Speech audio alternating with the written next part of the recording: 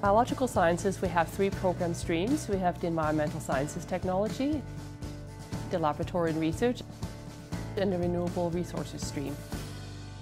Biological sciences really seems to be all about the natural world. So it can be everything from the uh, soil and the grass and the plants and animals and the air and the water. Renewable resources and environmental sciences are more you know, practical work.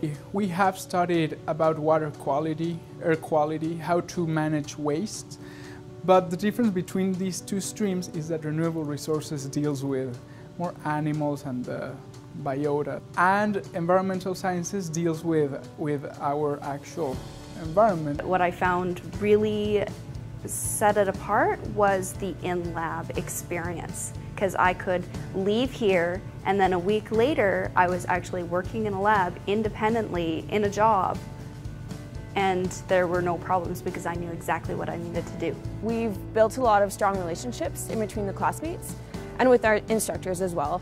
Um, the instructors have gone so far out of their way for all of us, it is mind-blowing.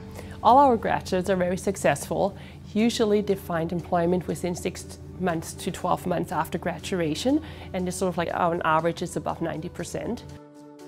Instead of taking something that was very tailored into one profession, we are able to choose from a broad spectrum of opportunities. They could work with the regulators, right? So really with the, you know, uh, Alberta government or federal government or even municipalities depending on what's going on. It's really broad where they can find work.